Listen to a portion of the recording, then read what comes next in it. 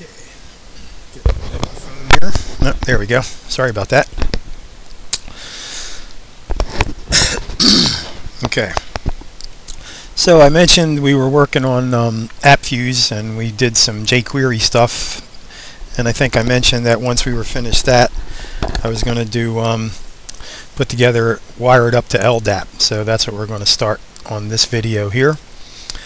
Um, I think I also mentioned that I run my database on a virtual machine, so I have VirtualBox running in another room on a Linux server.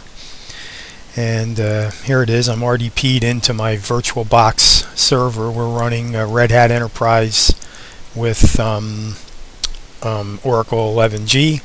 And what we're going to do is install Apache on it. Okay, well, that's we're not using that anymore. So we'll just get rid of that. Okay, let's get a terminal window.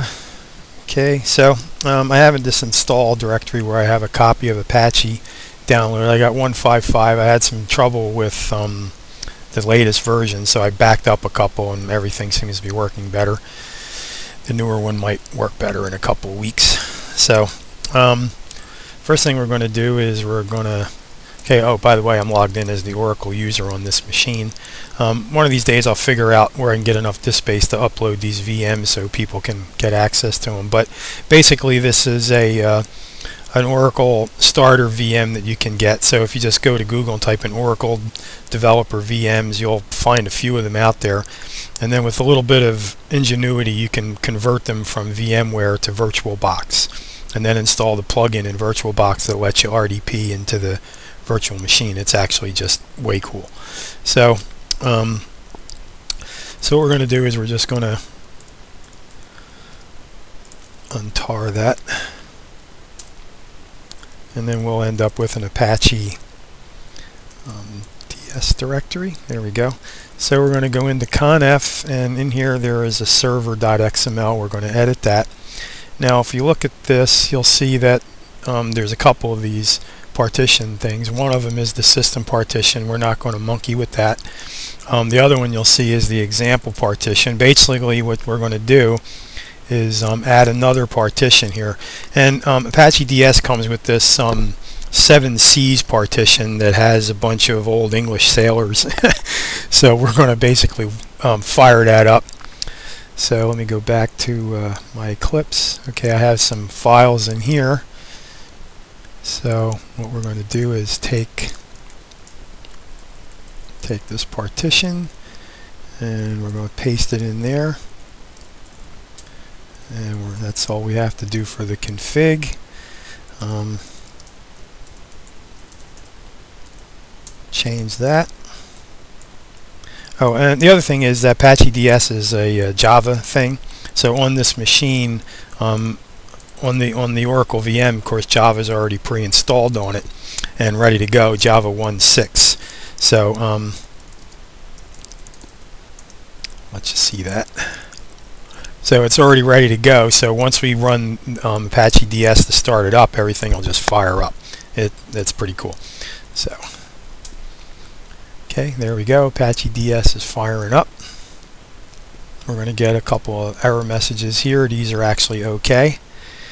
Um, so if we go over here, we're running in bridged mode, so we can actually get a get we get an IP address for our box. So we're looking at 162, which where um, our Apache DS and our um, Oracle server is running.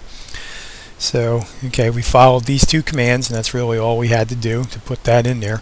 Now, um, what I do is I use um, JXplorer so we, I have JXplorer installed. It's a Java-based um, LDAP um, Explorer. So we're going to fire that up.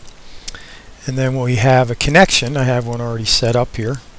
So we're going to connect to that IP address and that port number. These are the defaults for Apache DS. So it's 10389 instead of the usual 389. It's LDAP version 3. Now we're going to create the um, 7 Seas um, container but right now we don't have it, so we just want to go in at the root.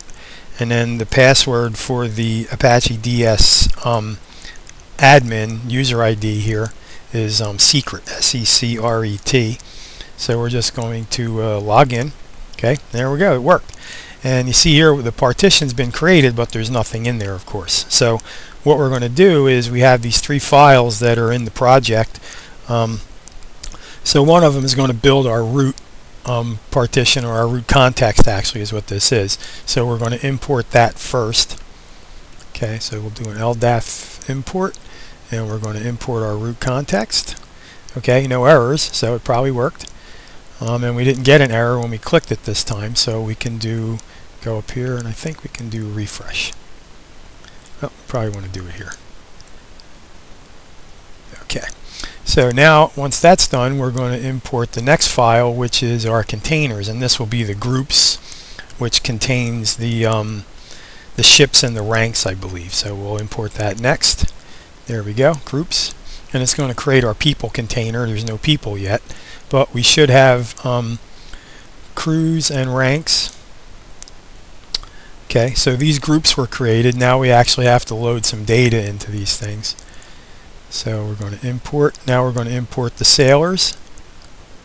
Okay, now we should have everybody. Let's do another refresh. Give it a second to update. Okay, now let's see what we got. Okay, so we have crews. Okay, so basically everyone is going to be um, a member. Well, not everyone, but some people will be. So HMS Bounty has these people. And um, the Lydia has these people, my favorite, Hornblower. And um, Victory has this one, um, Horatio Nelson, of course. Um, so and what I did was I added some of these. These don't come with it, so the files I have created these. So we have an officer and a seaman. Um, you can use these if you like. I had it originally set up for that, but it, didn't seem to make any sense. I mean, really, we're doing, you know, who's going to be an administrator and who's going to be a user.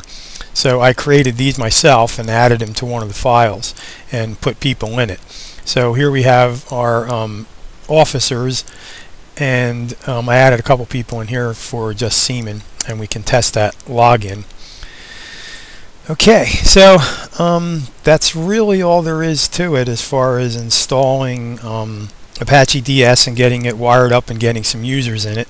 So in the next video what, what we're going to do is I'm going to show you how to wire AppFuse up with um, Spring Security and have a little bit of custom code that can look up these groups and then map them over from um, the um, Apache DS groups to um, the AppFuse group. So for example, in um, the LDAP server we have a group called Officer. We want that guy to actually map to the AppFuse group um, admin and we have Seaman. We want that to map to the AppFuse, AppFuse group users.